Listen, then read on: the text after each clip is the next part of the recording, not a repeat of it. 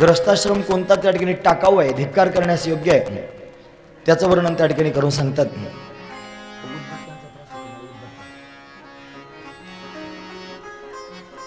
सुभाषितकार वर्णन करून सांगतो.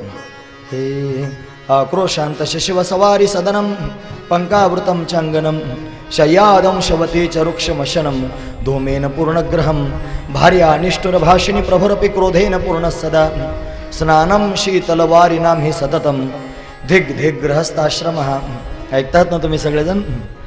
धिक्कार करण्यास योग्य असणारा गृहस्थाश्रम कसा? त्याचं वर्णन करून सांगतात.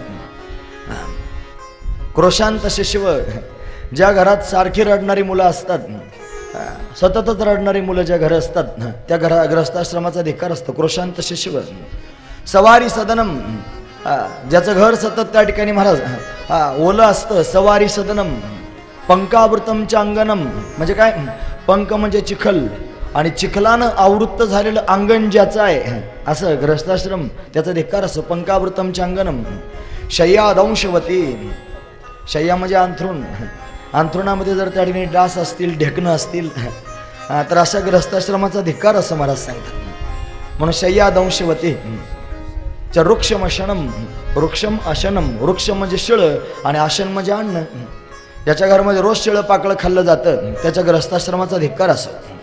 वृक्षमशनम धोमेन पूर्णग्रहम. ज्याच्या घरामध्ये सारखा त्या ठिकाणी धूर पसरलेला असतो.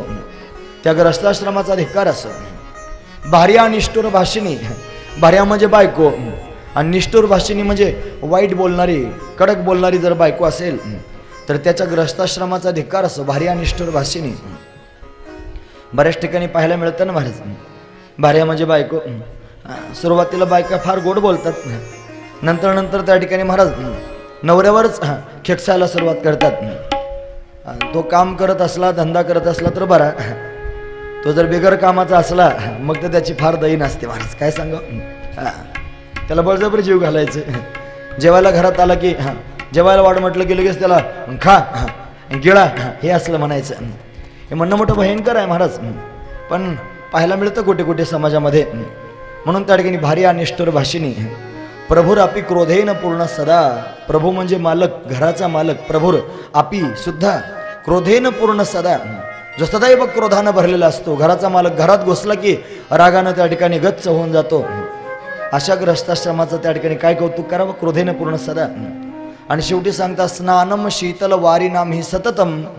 धिग धिग ग्रहस्थाश्रमा ज्या घरामध्ये रोज थंड पाण्याने आंघोळ केली जाते त्या ग्रहस्थाश्रमाचा धिक्कार असो काही लोक त्या ठिकाणी मोठेपणानं सांगतात महाराज आम्ही रोज गारपणाने आंघोळ करतो. अरे पण ग्रहस्थ धर्म म्हणतो गारपणाने आंघोळ करू नको वेड्या. थोडं तरी काटामोड त्या ठिकाणी पाण्याची करावी मग घ्यावं. म्हणून स्नानम शीतलवारी नाम ही सततम धिग धिग ग्रहस्थाश्रमा त्या ग्रहस्थाश्रमाचा धिक्कार असो. म्हणून असं ग्रह गा ग्रहस्थाश्रमाचं वर्णन करून सांगितलं. ग्रहस्थाश्रमामध्ये राहावं आणि भगवंताचं चिंतन करावं. नीतिमत्ते